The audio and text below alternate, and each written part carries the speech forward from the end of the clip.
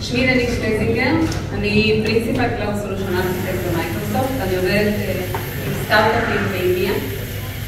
אנחנו עובדים עם סטארט-אפים גם בישראל ובכל אירופה, עוזרים להם בעצם גם לעלות על Azure, גם אם נמצאים ב-Azure, וכמובן כל מה שקשור לג'נרטיב AI. אני ספציפית מתמחה בדאטה ו-AI. לפני שהצטרפתי למייקרוסופט לפני שנה וחצי, הייתי מעל 20 שנה, מנהלת פיתוח VP לפני שהצטרפתי למייקרוסופט הייתי Senior Director של דאטה ו-AI ב-SentinelOne, ובעצם בנינו data pipeline שהתעסק גם ב-data processing ו-machine learning בשביל cyber security.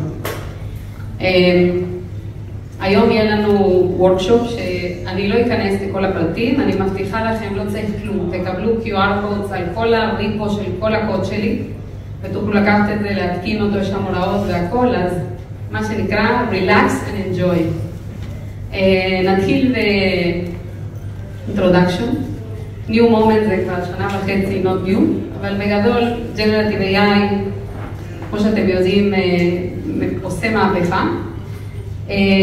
זה אומן על כל מיני סוגי, אני מדברת על OpenAI, שבעצם זה מה שבהתחלה ההשקעה של מייקרוסופט לפני כמה שנים, ואז בעצם השקעה גדולה של מייקרוסופט לפני כשנה וחצי. זה אומן על כל מיני מקורות של דאטה ענקיים, וככל שהמספר ב-GPT מודל גדל, אז כמות הפרמטרים שיש היא הולכת וגדלה באופן אקספוננציאלי. אז GPT-3 היה מדהים, GPT-3.5 עושה עבודה מטורפת, GPT-4 הוא פי כמה וכמה יותר טוב, ולאט לאט יוצאים עוד ועוד. לפני יומיים יצא, לפני איזה חודש וחצי יצא GPT-4O, אני מדבר על זה בהמשך, Omni, שיודע לקבל לא רק input טקסט כמו שיודע עד עכשיו, הוא יודע לקבל speech ו-real time, ולקבל תמונות. ובעתיד יקבל גם וידאו. ויש, לפני יומיים יצא GPT-4O מיני, שזה בעצם הרבה יותר קטן, יש לו יכולות מאוד מאוד חזקות, מן הסתם מבחינת העלויות שלו הוא יותר כלכלי. ניכנס לזה אחר כך. אבל בגדול, GPT-4 יש לו כ-1.8 טריליון פרמטרס, 120 ליירים. שזה בערך עשר פעמים יותר גדול מ-GPT-3, יש שמועות שאומרים שעובדים על GPT-5, בגדול אמרו שזה לא נכון, כנראה שכן, אבל בינתיים יצאו עוד מודלים אחרים. אה, הבנתי, לא יודעת, השמועות אומרות שזה יהיה כל כך powerful שכולנו נשאר בלי עבודה, כנראה שזה בדרך, הבן שלי בן 19 אמר זה הולך כאינסטלטור, כנראה הכי טוב. כי מתכנת לא נראה לי, בטוח, עוד עשר שנים כנראה, לא יודע, לא בטוח שיהיה לנו עבודה. אז מי שלא יוצא לאקזיט, שיצא לפנסיה מוקדמת או משהו, או שיהיה אמור לאינסטלציה.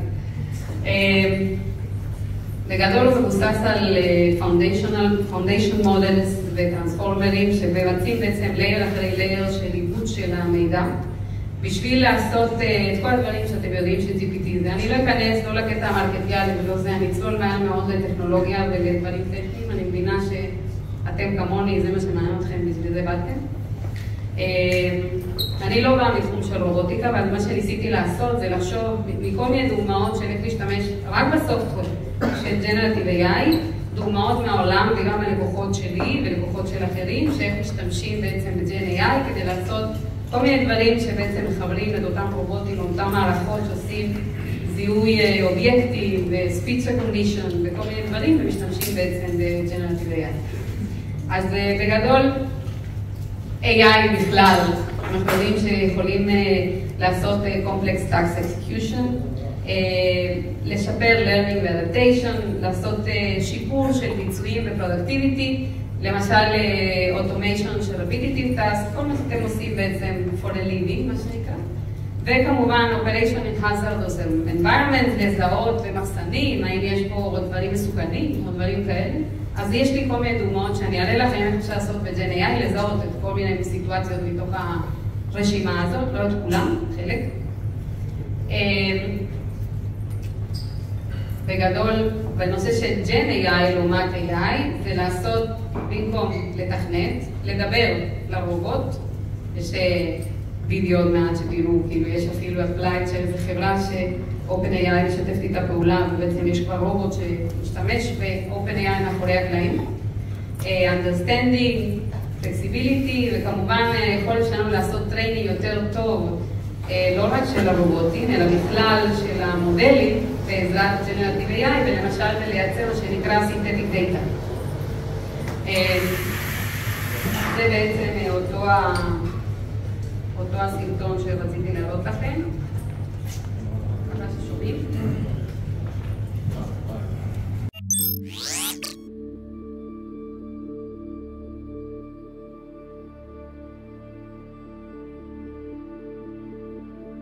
Hey, Figure One, what do you see right now?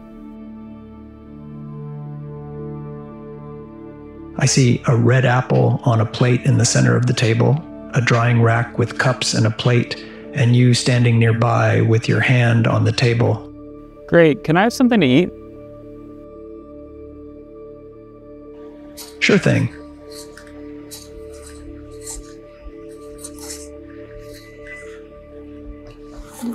Great. Can you explain why you did what you just did while you pick up this trash? On it. So I gave you the apple because it's the only uh, edible item I could provide you with from the table.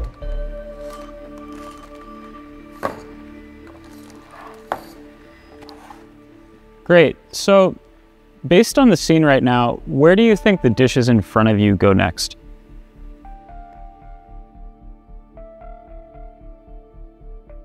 The dishes on the table, like that plate and cup, are likely to go into the drying rack next.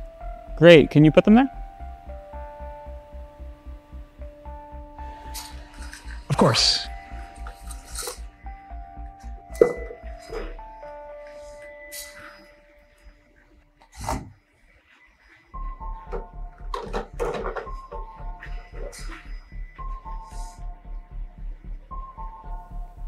All right, so how do you think you did? I, I think I did pretty well. The apple found its new owner, the trash is gone, and the tableware is right where it belongs. I agree. Thanks, Figure One. You're welcome. If there's anything else you need help with, just let me know.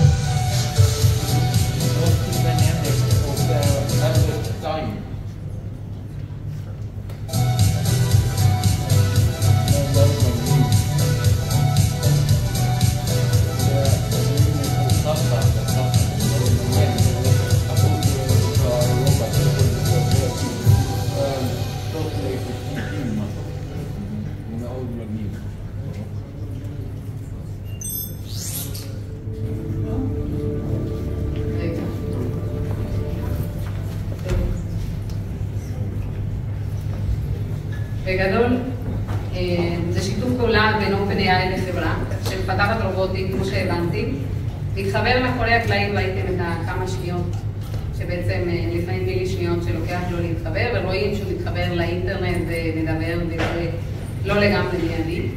אבל זה דברים שהם מבחינת המודלים, המודל החדש שנקרא GPT-4O, בקפסיטי שלו, מה שיש לו זה יכולת לענות לספיץ' במהירות בעצם של בן אדם, במשהו כמו 600 מילי שניות.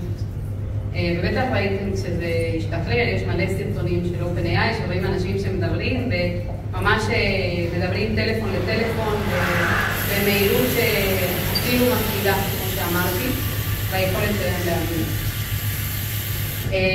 אין ספק שזה קרה בשנה וחצי, אולי פחות. אז תחשבו מה יקרה בשנה וחצי הקרובות. כמו שאמרתי, אינסטלציה. אה,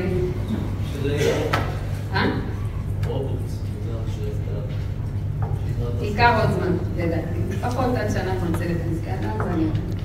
יש פה רובוט ריצוף, כן? תשתדלו. אז אינסטלציה לא רחוק. אוקיי, אז נחשוב על משהו אחר.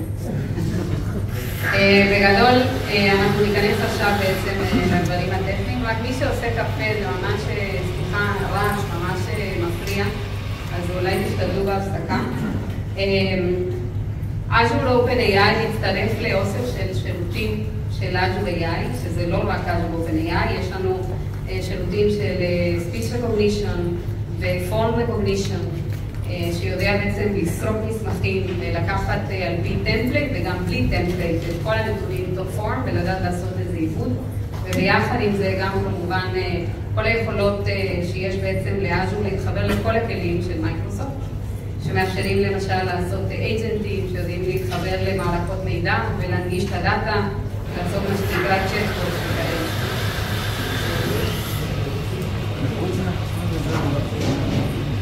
אה, מה שחשוב לי להגיד, אולי השאלה הראשונה שלכם תהיה למה מייקרוסופט, או למה Azure OpenAI ולא OpenAI בכלל. אז אחד מהדברים שמבדילים בין Azure OpenAI למייקרוסופט, אה, שבעצם מנגישה את זה ב-OpenAI הרגיל, זה בעצם ש-Azure OpenAI אה, מתחייבת לאמנה של Responsible AI, שזה אומר שאנחנו לא מאמנים את המודלים שלנו עם הדאטה שלכם, אנחנו לא שומרים את הדאטה שלכם. אה, אנחנו לא משתמשים בדאטה שלכם בשום צורה, יש גם אודיטים וגם על זה אפשר לעשות opt-out. אז בגדול, גם אם הדאטה שלכם הוא דאטה מאוד אה, מסווג ובעייתי, אפשר להגיד ולקבל בעצם את המחויבות של מייקרוסופט, אה, שבעצם הדאטה הזה לא משמש ולא נשמר בשום מקום. אה, מה שיש בזה זה your data is your data. משתמשים בו רק ל-fine-tuning אם אתם רוצים, מה אנחנו לא שומרים, fine-tuning שלכם, אם אתם רוצים fine-tuning למודל אצלכם, אבל זה נשאר ב-session שלכם, זה לא משרת את הלקוחות האחרים של מייקרוסופט בשביל להשתמש בזה. והדאטה שלכם הוא protected על ידי כל מיני content filters שמאפשרים גם, אה, גם compliance לרגולציות הכי אה, קשות שיש אה, בכל מיני מקומות, כמו SOC 2, ISO, impact וכאלה. אה, בשביל אה, ארגונים שבעצם חייבים את הדברים האלה כדי לא להשתמש בחומרים שהם בעייתיים. אז יש את המחויבות של מייקרוסופט שעומדת מאחורי זה. ואז הלקוחות הבאמת גדולים וכל ה enterprise של העולם, כמובן הרבה משתמשים ב-Azure OpenAI, כביכול יש הרבה פעמים delay של לפעמים כלום, לפעמים כמה שבועות עד שהמודלים מופיעים ב-Azure OpenAI, הרבה פעמים זה בו זמני. אה, יש לנו אה, שכבה שנמצאת מסביב לאותם מודלים, שבעצם מאפשרת לעשות Modified Monitoring ו-Content Filter. למשל, אם אתם רוצים אה, לאפשר Content Filtering על תחומים שאתם לא רוצים שיהיו, כמו למשל Violence או Sexual Content ודברים כאלה, אז אתם יכולים, זה built in, זה by default, אבל אם אתם רוצים להוריד, למשל יש לי לקוחות שמתעסקים בתחום של uh, uh, lawyers, הם עושים מערכות בשביל uh, לזהות כל מיני contracts וכאלה, וגם תכתיבים ותקצירים של משפטי, הרבה פעמים custody ם וכאלה. אז למשל אם היו צריכים להוריד את ה content פילטרים בנושא של violence, יש שם תיאור של אלימות במשפחה ודברים כאלה שהם חייבים את זה בשביל לעשות, אז אפשר כמובן לעשות opt-out ל filtering הזה ולבקש שיורידו, אפשר למתן אותו גם במספרים מסוימים, להגיד אני לא רוצה את ה full content filter, אני רוצה באמצע, אני רוצה פחות, ואפשר כמובן לנסות עד כמה זה מתאים לכם, זה מ-0 עד 6, אז אתם יכולים בעצם להוריד את ה content filtering הזה. אתם יכולים להגיד, בגדול הכל auto-blocked, אתם יכולים לעשות אותו פחות קשוח, אם אתם רוצים שלא יהיה, ויש כאלה שאומרים, אני לא רוצה content filtering בכלל.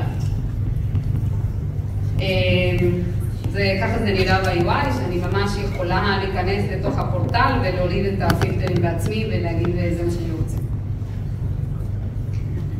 אמרתי קודם, זה privacy and security, end-to-end encryption, compliance, לא משתמשים בזה.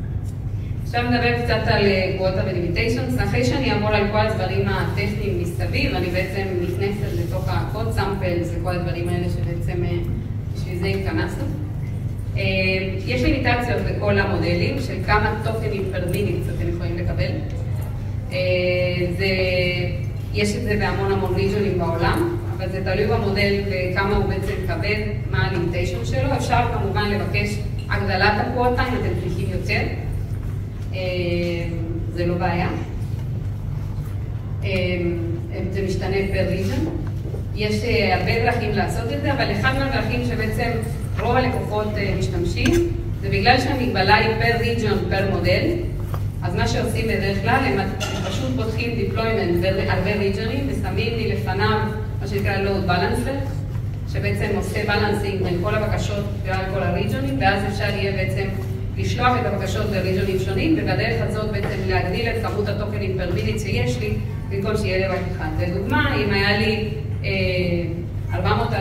240 אלף טוקנים פר מיניט ב-GPT 3.5, ואם אני אפתח שלושה ריג'ונים, אז אני אגיע ל-720 אלף, וכהנה וכהנה. כמובן, אני יכולה להגדיל גם את הטוקנים באותו ריג'ון לכמעט פי 4, תלוי כמובן מה הגודל של הלקוחות, וגם כמה capacity יש בריג'ון, יש ריג'ונים שיש יותר, יש ריג'ונים שיש פחות. ההמלצה שלי, לכו על region ים אקזוטיים, North Sweden, כזה באמת לא צוחקת, יש שם capacity, בארה"ב, US East פחות, אירופה פחות, אבל Sweden יש מלא לפחות כרגע, וכדומה, זאת אומרת, תחפשו באמת את המקומות שהם לא המקומות הראשיים. מבחינת monitoring, אפשר לעשות monitoring בעזרת כל מיני פרמטרים שנשלחים כל הזמן מהמודל של Azure OpenAI, כשאתם רוצים לראות כמה טוקנים יש לו, מעט נדבר מה זה completion, מה זה prompt, מה זה טוקנים כאלה וכאלה. אפשר לעשות monitoring, הדרך לעשות, יש monitoring built-in בתוך ה-Azure פורטל, אבל יש גם אפשרות שזה נראה ככה, ויש אפשרות בעצם להוסיף איזה סוג של workbook, שזה נמצא פה ב-QR code, אם אתם רוצים לעשות לו scan. זה בעצם blog post שנכתב על ידי כל מיני ארכיטקטים, תעשו scan אם אתם רוצים, פה בארץ, שמאפשר לכם לעשות monitoring הרבה יותר מדוקדק על הצריכה שלכם של הטוקנים ב-Azure OpenAI, וזה יאפשר לכם בעצם לנטר יותר טוב את הצריכה שלכם OpenAI. יש משהו שמאפשר לכם לקבל כרגע, כשאתם מתחברים לכל מודל של Azure OpenAI, אתם מקבלים בעצם על בסיס פנוי. לצורך העניין, כל מי שנמצא פה מדבר עם GPT-4, אז כולכם באותו ריג'ון, יש מלא מלא GPUs שמשרתים את הבקשות האלה, אבל בגדול זה first serve. זאת אומרת, מי שמגיע ראשון מקבל, ויש כמובן ראונד רובין כזה בין כל הבקשות. יש אפשרות לעשות מה שנקרא provision support. שזה כמו להגיד, אני לא רוצה להיות אורח מזדמן, אני רוצה שיהיה לי חרב המלון הזה, אני רוצה שהוא יהיה שלי, ושאני אקבל תמיד בקשה, כי אני שם, אני שם שילמתי על זה. זה נקרא PTU, שזה נקרא Provision Throughput. יש לי אפשרות, אפשר כל חודש לבטל על זה, זאת אומרת, אני יכולה לעשות לחודש, בחודש הבא אני יכולה לבטל. זה לא התחייבות כמו instances ו cloud וכאלה, שזה התחייבות לשנה או לשלוש, זה לחודש. זה מתחיל מ-7.5 אלף דולר, וזה עולה בעצם פי שתיים כל הזמן, תלוי כמה תפקוד אתם רוצים לקבל. שזה מאשר לכם בעצם, תלוי בכמות הבקשות, יש בפורטל של אג'ור אפשרות לחשב כמה PTUs אתם צריכים, כמה יוניטס, ואז בעצם תוכלו לדעת כמה reservation אתם צריכים לעשות בכמות הבקשות. 7.5 אלף דולר בחודש זה לא מעט בקשות, זה הרבה מאוד בקשות ל-OpenAI. כמו שאמרתי, reserve capacity, cost saving ו-predictable performance בעיקר, בגלל שאני לא נמצאת על אותו פול של כולם, אלא יש לי בעצם משהו שאומר, מובטח לי שאני אקבל תשובה, אז אני מקבל תשובה בפרפורמנס הרבה יותר גבוה.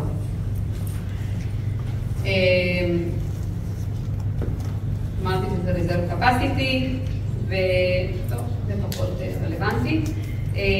אין artificial rate limits, אתם יכולים בעצם להגיד כל הזמן איזה capacity אתם רוצים לעשות לו reservation, וזה בעצם מאפשר לעשות simultaneous requests על כל זה, ואתם יכולים לעשות capacity על region מסוים.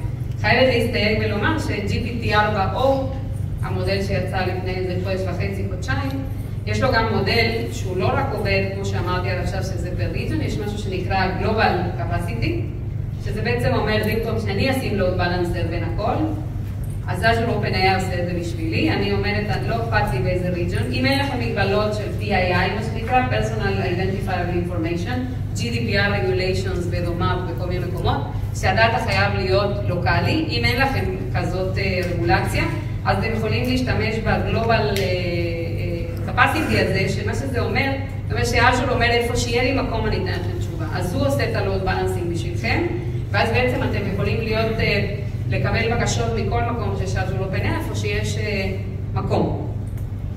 יש בזה נוחות, בגלל שככה אתם לא צריכים בעצמכם לנהל את כל הריג'ונים, אבל אם יש לכם מגבלות של קונטנט מבחינת לוקליטי, תהיו חייבים לעשות את זה בעצמכם. כמו שאמרתי, על ה-BTU זה בעצם commitment based purchase model, אתם יכולים כל חודש לבטל. ועכשיו אני אכנס קצת יותר למודלים הספציפיים. זה בעצם משהו שלדעתי ארבעה, חמישה חודשים. ב-GPT4 התחילו, בהתחלה זה ה-input text, output text. לפני כמה חודשים התחיל להיות בעצם ההתחלה של לעשות input מסוג אחר. אז הראשון זה GPT4 with vision. אפשר להשתמש במודל של GPT4 ולהגיד לו, אני רוצה לתת לך תמונה, תגיד לי מה יש בתמונה. תלוי בפרומט, כן? תלוי מה אני שואלת אותו. גם פה יש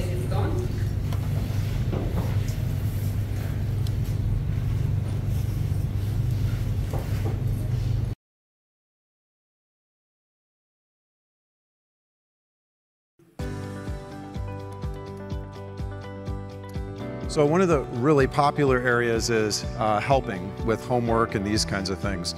So in this case, we just drew this and we baked into the image how long is this edge and what is the angle here.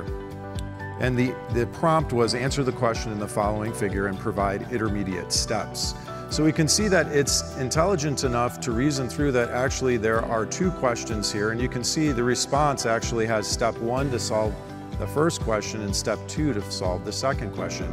And it's able to give you very detailed how to actually do the math calculation. At the end, it actually gives you a summary of, you know, 8.94 and then 26.57 degrees.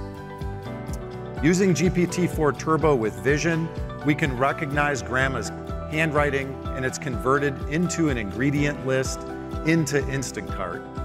From here, I can select my ingredients, like the apples, the pie crust, and I can actually delete things that I don't want. In this case, I've already got ground cinnamon at home, and so I don't really need that. And finally, I can instantly place that order for the remaining items that I need and get them delivered straight to my door so I can get to baking and savoring grandma's pie. I want to show one more demo. Uh, so for those who don't know, Seeing AI is a talking camera app for people who are blind. In this example, we're actually integrating GPT-4 Turbo with Vision to provide vivid, rich descriptions for, in this case, the image. Imagine if you were blind and you were going to the aquarium with your friends. Imagine taking this picture and trying to experience what's going on. With the GPT-4 Turbo with Vision, you're able to get very detailed description. In this case, it says, you know, it's area containing multiple starfish and water. Some of the starfish are partially submerged under the water. If you go further down, it says the water is clear, allowing a view of the starfish and rocks beneath the surface. Even more interesting is if you take this app, you can do Q&A now so that you can actually ask questions, whether it's what does the starfish look like? How many starfish are there? What about the pink uh, starfish? Uh, prior to this, we didn't have this kind of capability that you could go in such detail and help blind users actually understand what's going on in the visual world. We're rolling this out to the Seeing AI app actually over the next couple weeks, uh, so you can stay tuned if you're interested.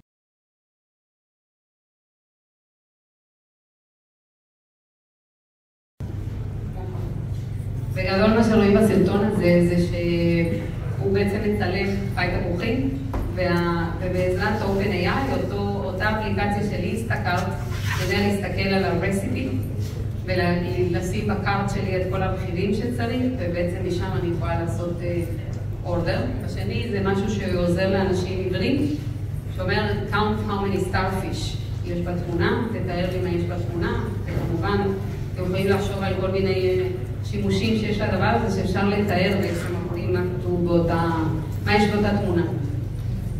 אחרי GPT for Vision הגיע לפני איזה חודשיים GPT 4O, O זה מאומני, בלטינית זה אומר הכל. ומה שזה אומר זה בעצם שהוא יודע לקבל בתור אינפוס לא רק טקסט כמו שכל האחרים עד עכשיו, או כמו שהוויז'ון נתן רק תמונות, הוא יודע לקבל גם ספיץ', הוא יודע לקבל תמונות.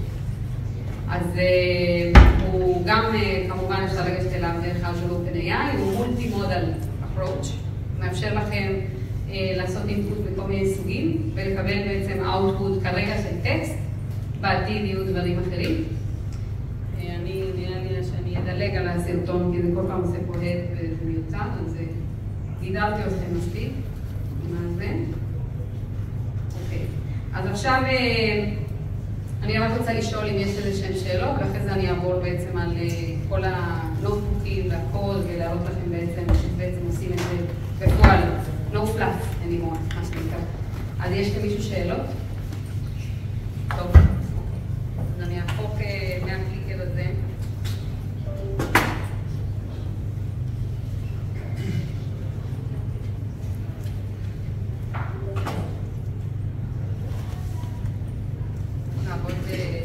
ל-VS Code. אני מבטיחה שבסוף אני אראה לכם את ה-QR קוד של זה, בעצם אולי אני אקרין את זה עכשיו, שיהיה לכם את זה על המסך.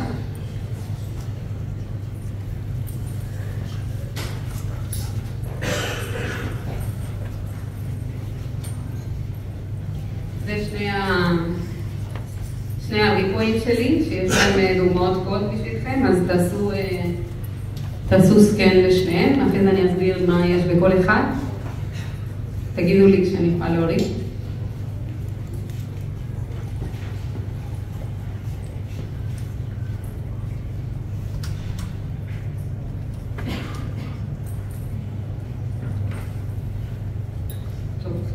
אז בגדול, בתוך שני הריפויים האלה יש לי שני דברים. הראשון זה וורקשופ, שאני מעבירה אותו לכל מיני לקוחות, הוא אורך הרבה מאוד זמן.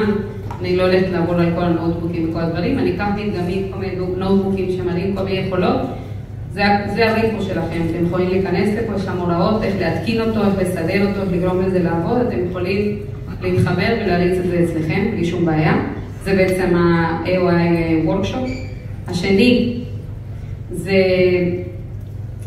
code samples, זה בעצם דוגמאות של קוד שבעצם קצת יותר, יותר GPT-4O, הנה כמו שאתם רואים אני עובדת על GraphRAG, מי ששמע על זה, זה עדיין בתנור, אז עוד לא שיגרתי את זה לתוך ה repo, אבל זה גם חלק מהדברים שאני עובדת עליהם.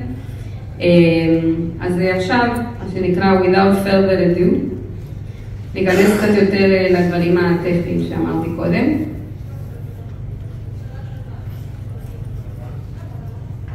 דבר ראשון, מבחינת פרומפטים, כל פרומפט שאתם שולחים למודל של GenAI, ל-GPT, יש לו שני חלקים. את הפרומפט, זה מה שאתם כותבים, זה טקסט שאתם נותנים הוראה, אני אתן עוד מעט טיפים של איך כדאי לבנות פרומפטים בצורה יותר טובה, כדי שתקבלו את התוצאה שאתם מחפשים. והתוצאה קוראים לה completion. כשאתם משלמים על טוקנים, עוד מעט נסביר מה זה טוקן, אז אתם משלמים גם על הפרומפט וגם על ה-completion. זאת אומרת, כמות הטוקנים של הפרומפט פלוס ה-completion זה כמות הטוקן שאתם משלמים עליהם. אז אם אתם רואים פה דוגמה, סתם, למשל פה יש איזה ריפורט של תאונה, אחרי זה אני מבקשת, הפרומפט זה שני החלקים העליונים, אני רוצה לדעת, נגיד ל-main reason for the conversation, סוג של איזשהו customer support bot כזה שמקבל הוראות, sentiment of the customer, וזה, אני רוצה לתייג טקסט ולהגיד איך הלקוח הרגיש, מה הוא רוצה להגיד, מה ה-outcome של ה-conversation, תחשבו על צ'קבוט של insurance, דברים כאלה. ואז בעצם GPT יכול לתת לי את התוצאה. זה מולטי-language, אוקיי? אז אני יכולה בעצם לשאול משהו בגרמנית, כמו למעלה, ואז אני בעצם אומרת, תיתנו לי תשובה פורמלית לאותו לקוח, בבקשה באנגלית, ואז בעצם אני שולחת, אני יכולה בעצם לנסח אימייל שישלח באופן אוטומטי, גם אם בעצם זה בשפות שונות וכאלה, יש גם דוגמאות כאלה בתוך הזה. בתוך ה notebook ים. מבחינת טוקנים. טוקן זה בעצם חתיכות מילים, זה לא מילה, זה לא character, זה חתיכת מילה. זה בערך באנגלית, זה 0.75 מילה, או 4 characters, זה משתנה משפה לשפה. בעברית זה יותר, כאילו פחות, פחות, פחות אותיות זה יותר טוקנים. לדוגמה, כל ה-collective works של שייקספיר זה משהו כמו 1.2 מיליון טוקנים על 900 אלף מילים. אז כמו שאתם רואים, זה לא בדיוק מילה, זה בערך חצאי מילים, שלושת רבעי מילים, משהו כזה. אה, מה זה טוקן ו-probability? איך זה עובד? המודלים של Gen AI לא מבינים כלום. בסך הכל זה לא באמת מישהו שמבין, זה לא artificial intelligence, זה לא intelligence, זה probability model. הם מנסים לנבא בעזרת אה, מודלים שהם טרנספורמרים, מה הסיכוי של המילה הבאה תהיה X. אז אם אנחנו לוקחים בעצם את המשפט I have an orange cat named butterscotch, אז זה בעצם הצבעים, זה הטוקנים, שבעצם יחולקו על ידי המודל, אני לא צריכה לדעת את זה, המודל יודע לחלק את הטוקנים, אבל בעצם המודל ידע לנסות לנבא מה זה אומר הסיכוי שאני אקבל מילה מסוימת, ובגלל שהוא יודע לחשב את זה בו זמנית על כמות טקסטים מאוד מאוד גדולים, בדרך הזאת הוא יודע להבין טקסט, כי הוא יודע להבין מה הקשר בין כל המילים שאני כותבת, וגם מה הקשר בין, לתשובה שאני מבקשת. אז אם למשל אני שואלת, horses are my favorite, ושהוא ישלים, אז 49% זה שזה animal, או 42% animals, או סימן קריאה 0.91%. ככה המודלים האלה עובדים, זה probability model, בסך הכל מהיר מאוד, מטורף ביכולות שלו, אבל זה מה שהוא יודע לעשות, הוא יודע לחשב probability של ה-next word. אז אה, מה שכשאתם כותבים טקסט ושולטים לו, הוא בעצם מנסה להבין את זה מזה שהוא מחשב בו זמנית את ה-probability של כל המילים ששלחתם. כשאתם שואלים שאלה, הוא נותן probability של הטקסט שאמור להיות התשובה בהתאם למה שיעשו עליו training. יש אפשרות לכוון טמפרטורה, זה כמה פרמטרים שאני נותנת ב-GPT, אני יכולה להגיד הטמפרטורה 0, זה אומר אל תהיה יצירתי, לא רוצה יצירתיות, תענה לי את מה שביקשתי, ואני יכולה בין 0 ל-1 לתת לו טמפרטורה קצת יותר יצירתית. אם אני כותבת לו 1, הוא הכי יצירתי, בדרך כלל 0.7, 0.5, תלוי מה אני מחפשת, אוקיי? אם אני רוצה להגיד לו, תנסח לי אימייל שאני רוצה לשלוח, אז יכול להיות שאני 0.5. אם אני רוצה למשל לעשות creatives ל advertising או למשהו שאני רוצה לפרסם איפשהו, או קטלוג שאני רוצה לפרסם, או טקסטים שאני רוצה שיכתבו, אז אה, אני ארצה להיות יותר יצירתית, ולבקש ממודל שיהיה יותר יצירתית ממה שיכול. אם אני רוצה תשובה ספציפית, אז אני אלך על טמפרטורה אפס. מה שחשוב לי להגיד זה שבהתחלה, כשצ'אט GPT יצא, וזה הרבה אנשים אמרו, אה, אני יכולה לשאול אותו כל דבר, בהתחלה הוא היה מה שנקרא content cut, כאילו אימנו אותו על תאריך מסוים, וכולם היו שואלים אותו מי הנשיא של ארה"ב, והיה אומר טראמפ, כי זה הנשיא הקודם, והוא לא ידע שיש את ביידן וכל מיני כאלה. אה, בסופו של דבר, זה לא, זה לא מנוע חיפוש. GPT הוא אומן על data, אבל אם הוא לא אומן על data ספציפי שאתם מחפשים, הוא לא ידע. לצורך העניין תשאלו אותו דברים על כל מיני טקסטים של רפואה, או אנציקלופדיות שלא אימנו אותו עליו, אז הוא לא ידע. כי זה לא אומן על זה, זה לא מנוע שהוא מנוע חיפוש, הוא בעצם מודל סטטיסטי להבנה של טקסט.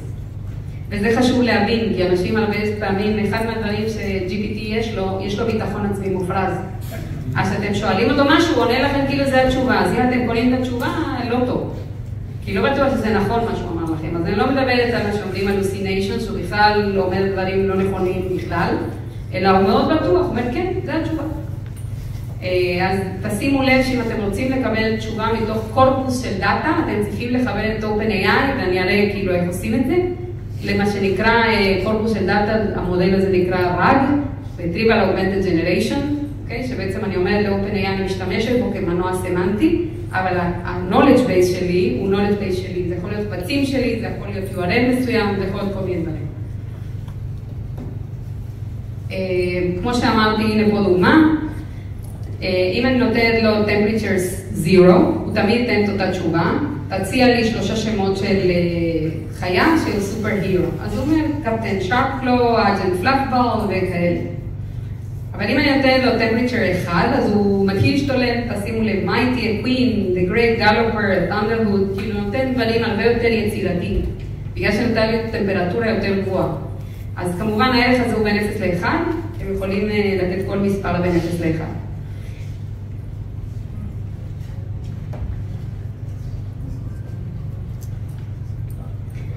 עכשיו ככה, כשאני רוצה בעצם ש-GPT יענה לי, אני יכולה לתת לו שאלה? והוא, והוא יענה לי, זה נקרא, אני, זה נקרא zero shot learning, אני לא מלמדת אותו שום דבר, אני לא מסבירה לו דוגמאות של מה שאני רוצה, אבל יש מודל ב machine learning שנקרא, בתחום הזה, שנקרא few shot learning, שזה אומר, אני נותנת לו שאלה, אחרי זה אני נותנת לו דוגמאות של תשובות, איך הן נראות, תשובה, שאלה, תשובה, שאלה, תשובה, שאלה, תשובה, ואז אני שואלת אותו שאלה. כאילו אני עושה לו מעין סוג של tuning על המקום, או training על המקום. זה, אני לא באמת עושה training למודל, אבל אני בעצם מנחה אותו עם דוגמאות, מה אני מצפה שהוא יעשה. אז אם למשל אני רוצה לעשות text classification, נתתי לו prompt extract the name and mailing address from this email, יש פה איזשהו אימייל, ואז הוא אומר לי name the address. אין, אין פה שום, אה, אה, מה שנקרא, אה, טיפים מבחינתי איך לעשות את זה. אם אני רוצה לעשות few שזה מצד ימין, אז אני אתן נגיד אה, classify customer question ואני אסביר לו מה אני רוצה, ואז אני אתן לו דוגמאות. customer question לדוגמה, topic 2, אני מראה לו שלוש דוגמאות, איך אני רוצה שהוא יעשה את זה, ואז בעצם כשאני שואלת אותו שאלה, הוא יודע להתחשב בשאלות והתשובות שנתתי לו כדי לתת לי את התשובה שאני ציפיתי. זה נקרא shot learning, ו machine learning לא קשור ל-Generative AI, זה בתחום של NLP. אה, יש פה עוד כמה דוגמאות, אני אדלג עליהן. מבחינת אה, חשיבות של prompt, כל התחום הזה של לדעת לכתוב promptים הוא קריטי ל-Generative AI, כי אם אני לא נותנת command אה, כמו שצריך, ואני לא אומרת ל-GPT מה אני בדיוק מצפה ואיך אני רוצה שהוא יתנהג, אז גם קוראים hallucination, שזה בעצם, הוא אומר דברים שלא ביקשתי, וגם אני מבקשת משהו, מתחיל להוסיף לי דברים שבכלל לא היו בשאלה ואני לא יודעת מאיפה הוא הביא. אז בשביל להגיד הרבה פעמים צריך להגיד לו מה אני רוצה ומה אני לא רוצה. אוקיי? למשל, Don't answer anything that I didn't ask. זה נשמע לכם טריוויאלי, אבל הרבה פעמים כדאי לשים את זה. אז בגדול, clear instructions. אם אתם רוצים שהוא יעשה משהו שהוא מורכב, אז תיתנו לו סבתא, אז תגידו קודם ככה, ואחרי זה ככה, ותסיק את זה, ואחרי זה תסכם, ואחרי זה תביא לי bulletים, ואחרי זה תכתוב לי אימייל, והאימייל יהיה ככה וזה יהיה בגרמנית. אז תכתבו לו את זה ב bulletים. וזה חשוב ה new line. זאת אומרת, זה חשוב שתרדו שורה, וזה תחשבו איך אתם מדברים עם בן אדם, איך אתם כותבים. הוא יודע להבין טקסט, וה new line הוא חשוב. לרדת שורה, לא לעשות אחד ברצף, זה יכול לשנות את התשובה. אתם יכולים לבקש גם שהוא יסביר לכם התשובה שהוא נתן. תיתן לי תשובה כזאת וכזאת ותסביר למה הגעת למסקנה הזאת. justification, אפשר לתת לו many outputs, תיתן לי output כזה ו output כזה ו output כזה, ואחרי זה אני אבחר את הכי טוב ואחרי זה נמשיך בעצם, אני יכולה. וכמובן שאפשר לעשות fine-tuning למודלים. זה לא עסק זול וזה לא עסק פשוט, אבל אפשר. אפשר, יש כל מיני מסמכים ב documentציה של איך אפשר לעשות fine-tuning למודלים של GPT, שבעצם עוד פעם, זה יהיה במקום שאתם תהיו בו, ה data יהיה שלכם, ה tuning זה יהיה אצלכם, זה לא ישמש מישהו אחר, אותם אמנות שדיברנו עליהם קודם, כי היה responsible AI.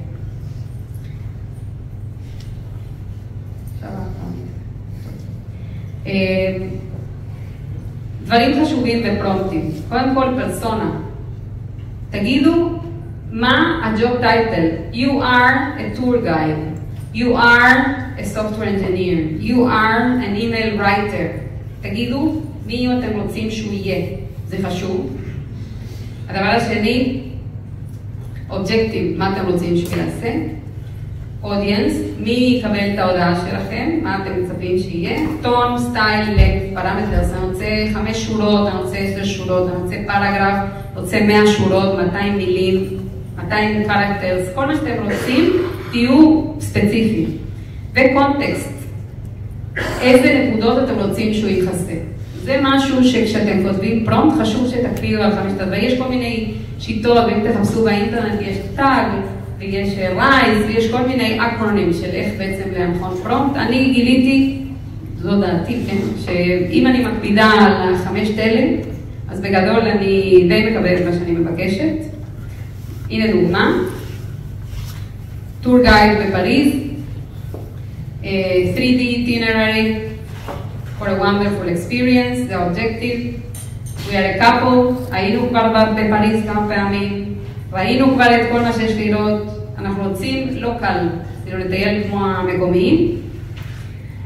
summarize the output in a table, day by day, זאת אומרת, תעשו לי טבלה, תעשו לי לפי יום, תגידו לי בבקשה morning, afternoon, night, כאילו מה עושים כל הזמן, אני מאוד מאוד ספציפית.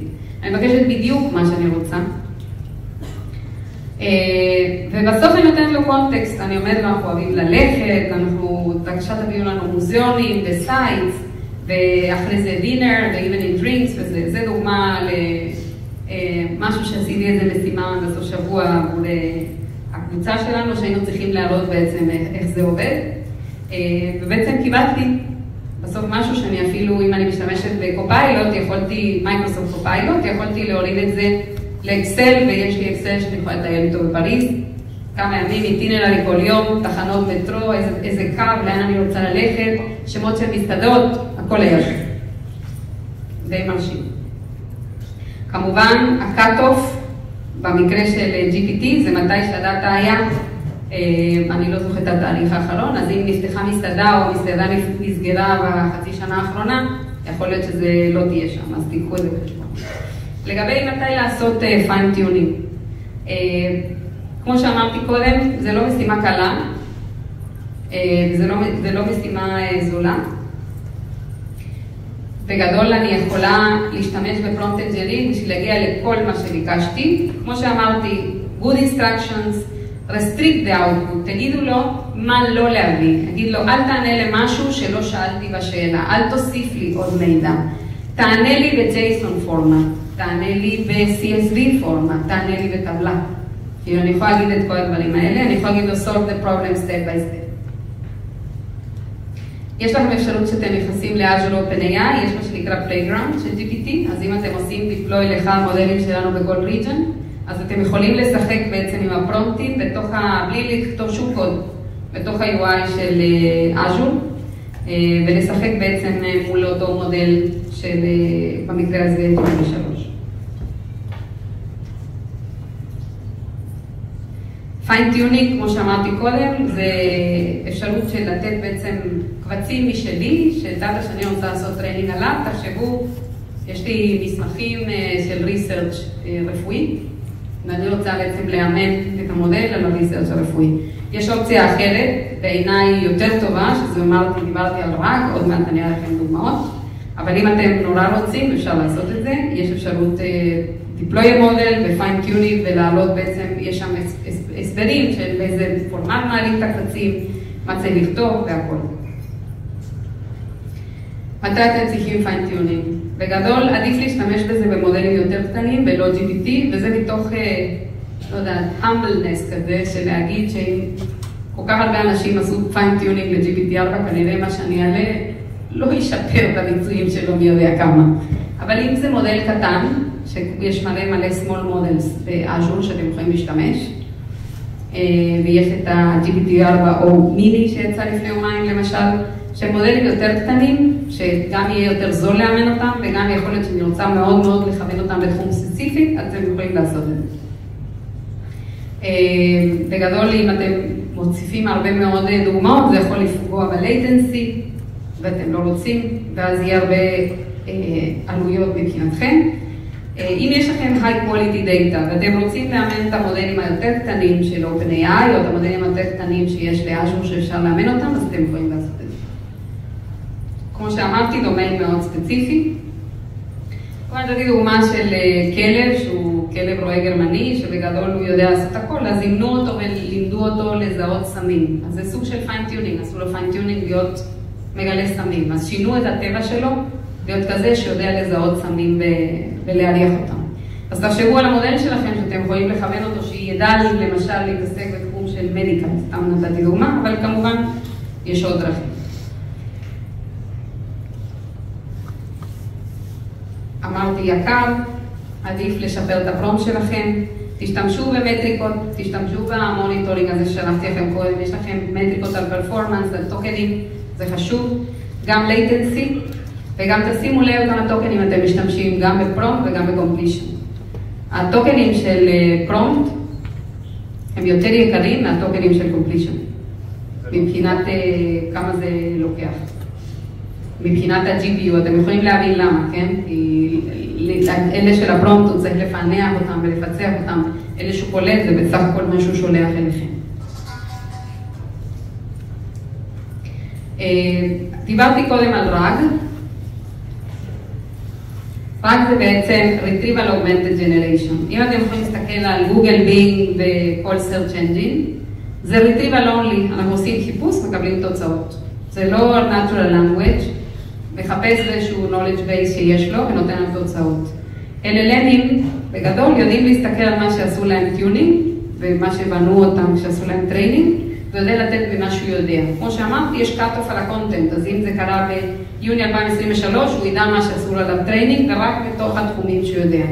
RAG יושב בדיוק באמצע, אומר, אני יכולה לקחת את ה-knowledge base שלי, את ה-document של הארגון שלי, את המסמכים, את ה-contract, את ה-URL ים של ה... לא יודעת מה, help של ה-support של הארגון שלי, ואני יכולה לתת בעצם ל-LLMs לאנדקס את הדבר הזה ולעשות retrieval ואחרי זה לתת לי natural language answer. איך עושים את זה? אני משתמשת במודל של embeddings, עוד מעט אני אסביר מה זה embeddings, ואז בעצם אני יכולה, כמו למשל ada, יש ב-OpenAI, אני בעצם מייצרת embedding, שזה איזושהי רפרזנטציה וקטוריאלית של טקסט, אפשר לעשות את זה גם על images ודברים אחרים, גם על אודיו.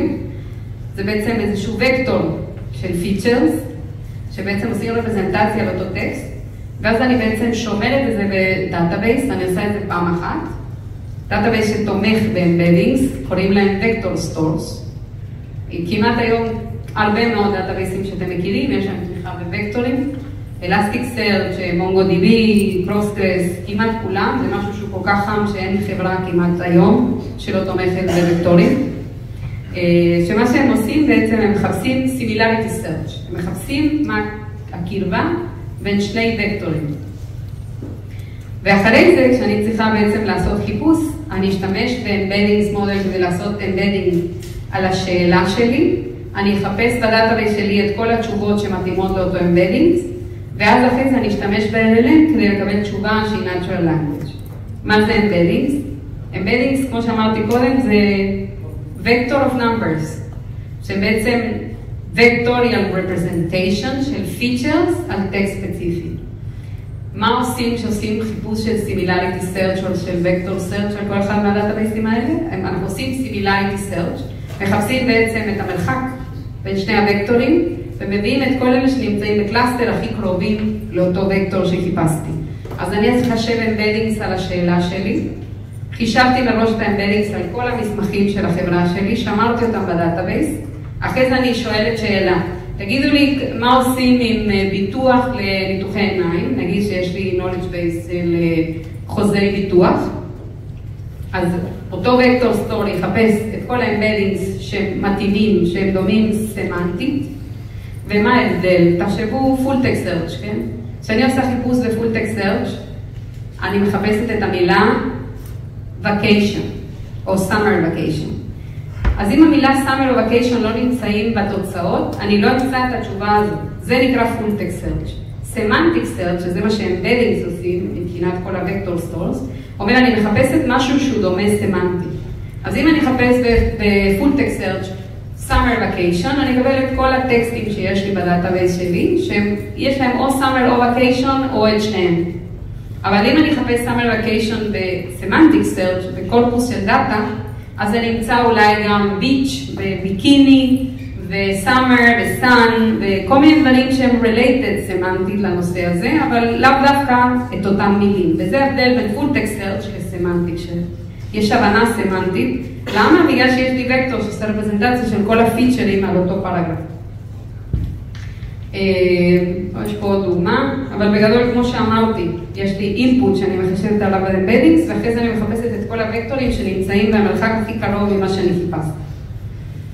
אה, בגדול אפשר להשתמש בזה גם ב images, לא רק בטקסט, אפשר לעשות image classification, object detection ו-other computer vision task, אתם יודעים את זה יותר טוב ממני, אה, איך אני בעצם מחפשת תמונות שיהיו דומות אחת לשנייה, אז אם אני אחשב embeddings על תמונות, ואחרי זה אני אגיד, תביא לי את התמונה הכי דומה לזאת מלמעלה, אז אני אחפש את כל התמונות שהווקטור רפרזנטיישן שלו יהיה הכי קרוב לתמונה שעשיתי לה אינדקס בעזרת embeddings, ואז אני אקבל את התמונה שהיא הכי דומה. ככה עובד image search. פה יש עוד דוגמה, אם אתם מסתכלים על word embeddings, אני מקווה שזה מספיק ברור, תסתכלו פה, יש פה למשל, מה שמעניין פה למשל בסגול, יש פרנס, סורבון ועוד כל מיני דברים, זה לאו דווקא פרנס וזה, אם אני אחפש פה פריז, אז הוא סימן לי שכל האלה הסגולים הם קשורים לפריז, אבל זה לא כתוב במילה פריז בכולם, אוקיי? ובדומה לכל הקלאסטרים שהוא מצא בצבעים, למשל פיצה, פפרוני, דומינו, סנדוויץ'. טוב, מתי פיצה לעומת סנדוויץ' לא יודעת, אבל הוא החליט שכנראה זה הכי קרוב לעומת אז הוא כנראה יותר קרוב מקריאת קלאסטר. representation של מילים in a low dimensional space, זה מה שהם בניקס עושים, או images. אז אם למשל דוגמה אחרונה, יש לי שני משפטים, The cat eats food, a kitten drinks milk, זה שתי משפטים שיהיו מאוד קרובים ב embedding שלהם, יותר קרובים מ-a woman drinks wine, למרות שהמילים הם זה, אז מבחינה סמנטית הם יותר קרובים מהזה שנמצא למעלה. ככה embeddings עובדים. דיברתי על הבדלים בין vector search ל full text search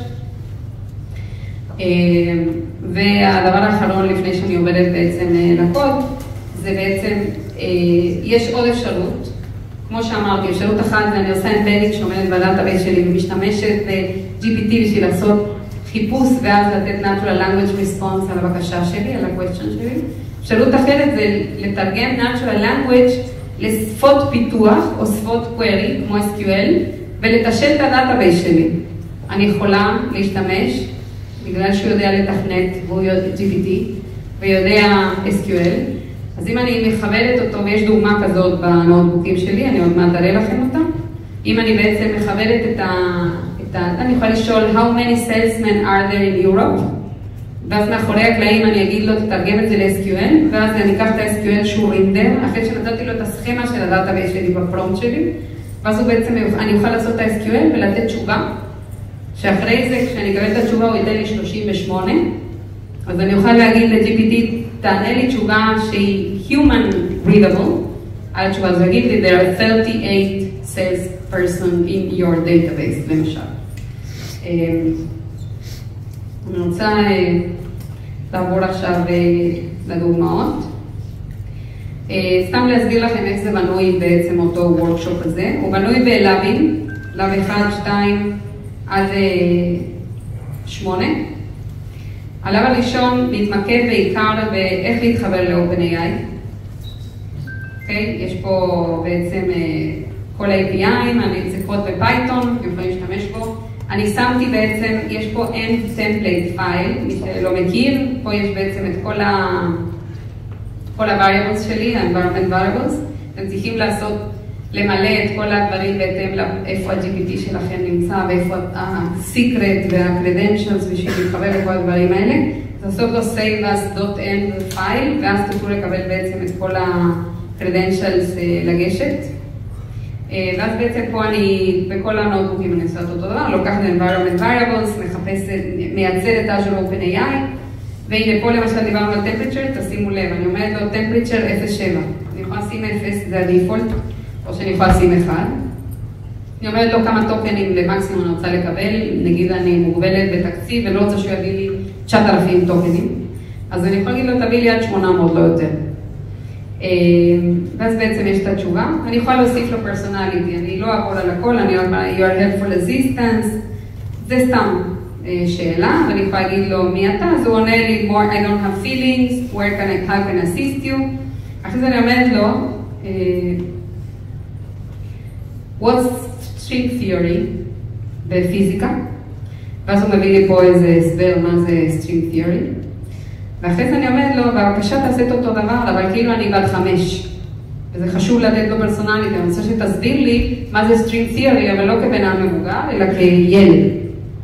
ואז בעצם, אם אתם מסתכלים פה, very fancy idea in science, the universe, of tiny little things, הוא בעצם מדבר אליי כאילו אני בת חמש, הוא מסביר לי string theory.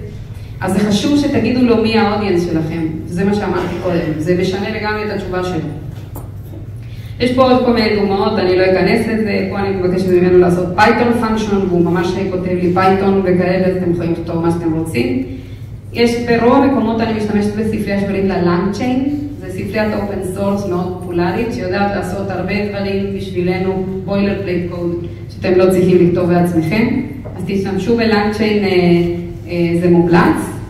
אה, אפשר למשל להיעזר בזה בשביל לעשות template של prompting וכל מיני דברים אחרים. הוא יודע גם להתחבר לכל מיני database־ים ו vector stores ספציפיים, ואז אתם לא צריכים לכתוב את כל הקוד בעצמכם.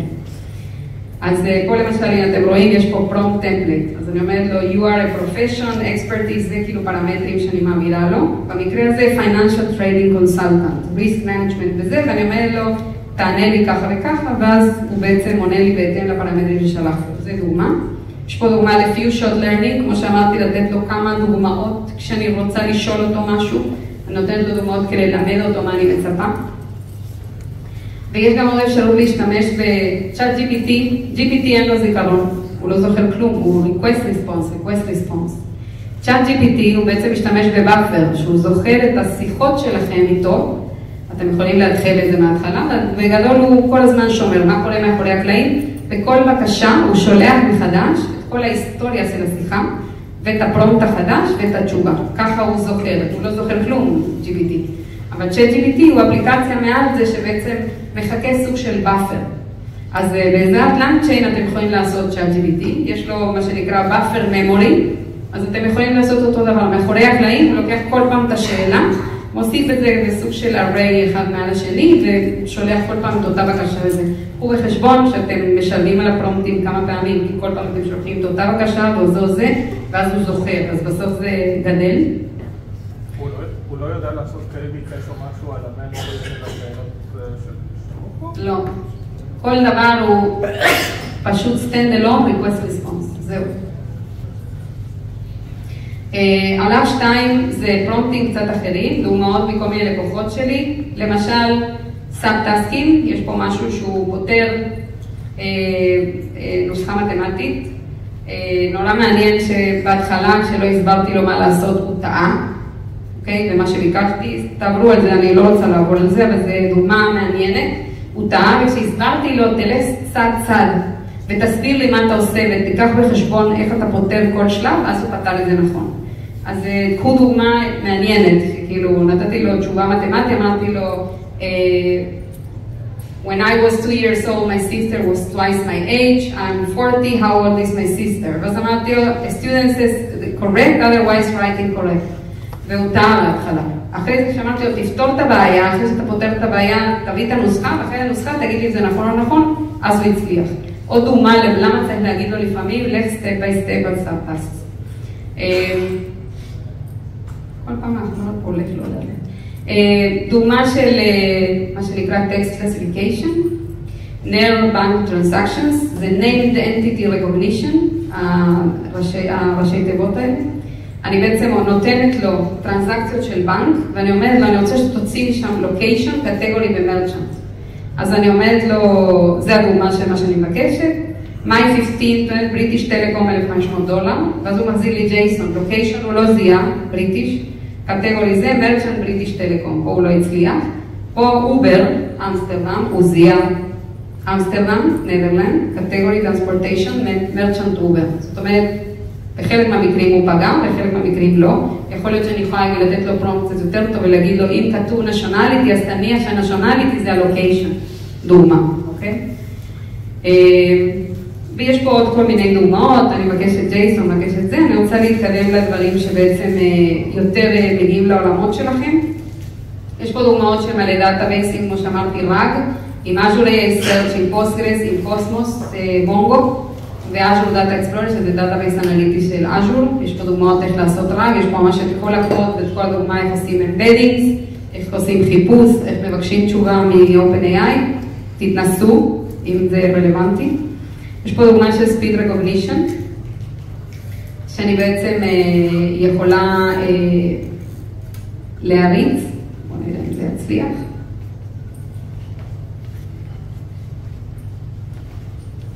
למה הוא עושה לי את זה ככה?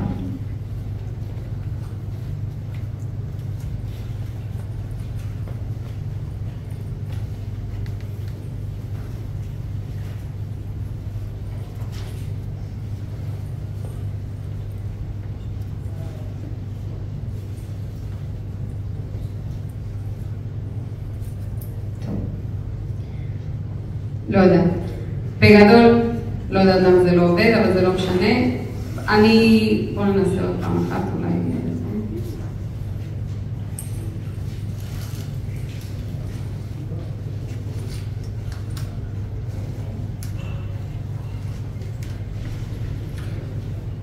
I would like to order two hamburgers. בסדר. טוב, זה עובד, אני ניסיתי, אני לא יודעת מה קורה לו פה וזה, אבל ניסיתי אפילו היום בבוקר. בגדול אני אומרת לו, תביא לי בבקשה order של French fries והמבורגר וזה, ואז אמרתי לו, תביא לי JSON של ה order. זה דוגמה של לקוח שלי שיש לו אה, קופסאות שהוא מתקין כמו מקדונלדס כאלה, drive-through. הוא בעצם, הקופסה שהוא מתקין אצל הלקוחות מזהה בעצם מה הלקוחות מבקשים, ואז בעצם עושה order אוטומטי במערכת ב backend. אז הוא משתמש ב-speech recognition בשביל לזהות מה אני בעצם ביקשתי. אה, יש פה דוגמה של אה, Vision with OpenAI, אה, Image Recognition ו-Video Transcript Summarization וכאלה, ויש פה דלי, אם זה מעניין אותך לשחק, אה, תיצור לי תמונה של דברים אקזוטיים, במקרה שלי אמרתי לו תביא לי תמונה של ליון באיזה וורלד קאפ, ואמרתי לו תביא לי tiger שהוא אסטרונאט ב medieval Jerusalem, על זברה, וזה מה שהוא הביא לי. סתם צעצוע. עכשיו אה, לדברים שהכי רלוונטיים אליכם, זה גם כל הדוגמאות האלה רלוונטיות, יש שם המון המון דוגמאות, אני לא יכולה לעבור עליהן. בגדול פה יש את הדוגמה של אה, GPT-4o, שבעצם אני יכולה אה, להריץ את המודל בשביל, אמרתי, input של תמונה, אוקיי? ואז אני רוצה אה, לבקש ממנו שיגיד לי משהו על התמונה. במקרה הזה, אני קוראת למודל, אוקיי? temperature 0 נתתי לו, ואז אמרתי לו, הנה התמונה, זה תפריט בספרדית של איזה מסעדה, אתם יכולים לזהות לפי מבטא שבדקתי שזה נכון. אה, ואז אני אומרת לו, אה, are there any keto diet options, דיאטה קטוגנית בדבר הזה? האם יש אופציות שאני יכולה לאכול? שאלתי אותו באנגלית, כן? זאת אומרת, הנה, הוא עונה לי דברים שלא שאלתי. וקטו diet focuses on high fat moderate protein וזה, ואז הוא נותן לי תשובה. מופונגו רזינו וקמרונה, זה, זה נכון, אין שם פחמימות, זה תקין. אה, לדוגמה. אז הוא לקח תפריט בספרדית שהוא תמונה, הוא זיהה את התמונה, שאלתי אותו, תביא לי בבקשה אופציות קטו, הוא מבין מה זה קטו, זה מתוך ה-knowledge base שלו, יודע מה זה קטוג'ניק דיאט, הוא ידע לתת לי תשובה. אני לא יודעת מה איתכם, אותי זה מאוד הרשים. אה, תחשבו על אפליקציה כזאת, כן, אני הולכת למסעדה, יש לי דיאטה, אני ויגן, אני בדיאטה, יש לי בעיות, אני לא צריכה סוכר, אני לא צריכה זה, אני יכולה לשאול כל דבר, ולקחת אפליקציה, לסרוק תפריט בסינית, ולדעת מה אני יכולה לאכול מתוך התפריט הזה. פה יש דוגמה של screenshot כזה של Power BI, שזה אפליקציית BI של מייקרוסופט, ואני בעצם שאלתי אותו, אה, How do I filter this to Canada? אם אתם יכולים לראות פה, זה בעצם אה, גרף כזה, אז איך אני עושה את זה? אז הוא אומר לי to filter, locate the filters, pane on the right side of the screen, click on the filters, הוא מסביר לי מה לעשות. אני לא אמרתי לו כלום, הוא יודע Power BI, הוא זיהה את ה menu, הוא מכיר איך זה עובד, נתתי לו תמונה. אז תחשבו על, אה, לא יודעת, משקפיים, שאני יכולה להסתכל דרכם ולתת תשובה, תעזור לי לעשות נביגציה באפליקציה הזאת, תגיד לי, תן לי הוראה איך אני יכולה לפתור כל מיני בעיות. אני בטוחה שיש לכם מלא דוגמאות של use cases שלכם.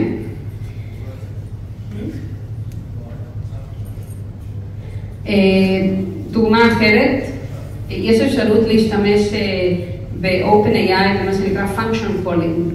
אני יכולה להגיד לו לכתוב כל מיני פונקציות בפייתון, אני יכולה לתת אותם בתור פרמטר, ולהגיד לו, אני רוצה שתקרא לפונקציה בהתאם להוראות שנתתי לך. במקרה הזה, אני עשיתי parcel sorting. לקחתי תמונות של חבילות, ואמרתי בהתאם למה שקרה לחבילה, תקרא לפונקציות ספציפיות. הוא יודע לעשות את function calling, הוא לא נמצא, הוא לא קורא ל-API מתוך ה-Backend, הוא מחזיר לי תשובה שאצלי אני קוראת לפונקציה, זאת אומרת, GPT לא מחובר לקוד שלכם, הוא לא מתחבר, GPT, request response, תזכרו, זה מה שיש שם. אבל אני יודעת בעצם לתת לו את הפונקציה ולתת לו את ה-callback, שמתוך הקוד שלי אני אדע לקרוא לפונקציה. אז הדוגמה הזאת, אני בעצם, אני בעצם אה, נותנת לו פרמטרים, שיפ טו אוקיאניה, יורו ב-US, אוקיי, בחבילות, בהתאם למה שכתוב על החבילה. ואז אני אומרת לו, shipping the parcel to any country on אני מסבירה לו מה הפונקציות שלי עושות. במקרה שלי הפונקציות שלו עושות אה, return string, כן, לא עושות כלום. אני רק רוצה שהוא, שהוא יפעיל את הפונקציה, במקרה שלי זה toy example, אוקיי? אה, אז אני מראה לו כל מיני אה, תמונות, נותנת לו תמונות של parcels, אוקיי? במקרה הזה כתוב ship to United States, ואז אני אומרת לו recommended function call, ואז הוא קרא על הפונקציה, location United States, shipping to America based on location to United States, אני אחרי זה נותנת לו עוד אחד, נראה אחרת לגמרי, דברים שלקחתי מהאינטרנט, United States, גם פה היוסטון טקסס, לא כתוב United States, אבל הוא הבין שזה United States, פה אוסטרליה, כי יש בקווטר, Queensland, אוסטרליה, וכולי, גרמניה, Europe וכולי. מה שבעצם עשיתי, אמרתי לו, יש לי פונקציות שיודעות לעשות משהו, כל פעם שתמצא תשובה מהסוג הזה והזה, תעשה function calling, זה יכול להיות על כל דבר. והדוגמה האחרונה שאני רוצה להראות לכם, ובזה אני אסיים. עוד פעם, א', תחפשו אותי בלינקדאין, אני יודעת שהרבה אומרים את זה, אבל אני באמת עונה. אז אם אתם רוצים לפנות אליי בלינקדאין ויש לכם שאלות או משהו כזה, תפנו אליי בלינקדאין, אני אשמח לעזור אם משהו לא עובד וזה. אז תאמינו לי, אצלי זה עובד, אז זה יכול גם אצלכם, כולם אומרים את זה כל הזמן.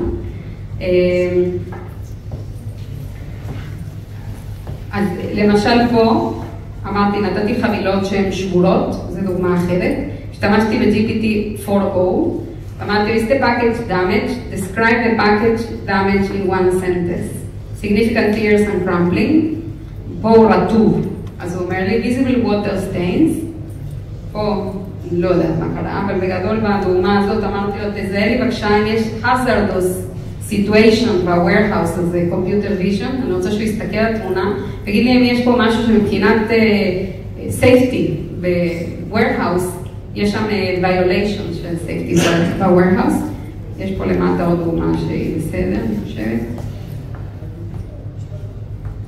אז הוא אומר, security hazard, improper use of ladder, reaching overhead, unsecured boxes, cluttered workspace, כאילו הוא זיהה כל מיני דברים.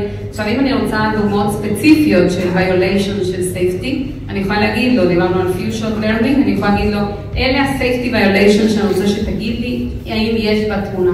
בגדול, היום אני יכולה לתת input speech, אני יכולה לתת input image, אני יכולה לתת input text, לקבל טקסט בתור תוצאה, אני יכולה לתת לו לנתח לי תמונות, לנתח אודיו. לנתח זה, ויש פה גם דוגמה שאני משתמשת בווידאו. עדיין אין אפשרות להעלות וידאו, אבל מה שעשיתי בדוגמה הזאת, לקחתי את הוידאו, חתכתי אותו לפריימים כל כמה שניות, תראו את זה בקוד, ואז בעצם שלחתי לו את כל הפריימים, ואמרתי לו, תתאר לי על מה זה. במקרה הזה נתתי לו איזה אה, אה, talk כזה שהיה באיזה conference, ואמרתי לו, תסביר לי על מה, על מה הייתה ההרצאה וזה, ותעשה לי summarization של כל מה שראית. keynote של איזה recap MP ב-OpenAI Dev Day, ובסוף אמרתי לו, תעשה לי summarization של כל מה שמצאת בתמונות. בהתחלה אני חותכת את כל הפריימים בקבוצות, אני אומרת לו, תביא לי את הסיכומים של כולם, סוג של map reduce, כן? אני לוקחת את סיכום של כל הקבוצות של תמונות, ובסוף אני לוקחת את הסיכומים של זה, ואני אומרת לו, תביא לי סיכום של הסיכומים. אז בסוף הוא סיכם לי את האירוע, כן? הוא אמר לי, אהודי בן ככה, וזה וזה, הנה פה למטה. summary of the OpenAI dev capturing, displaying, זה event venue, אחרי זה הוא מסביר על מה הוא מסביר, או על הבמה, הוא עושה ככה וככה, כאילו זה תמונה, כן? כל דבר שיש בתמונות, מן הסתם אם יש שם אודיו, הוא לא יודע, אבל מה אפשר לעשות? אפשר לנתח את התמונות בצד, אפשר לנתח את האודיו בנפרד, ואחרי זה עוד פעם לעשות מהפרדיוס ולהגיד, תגיד לי, על מה הייתה ההרצאה? אני סיימתי. יש לכם שאלות?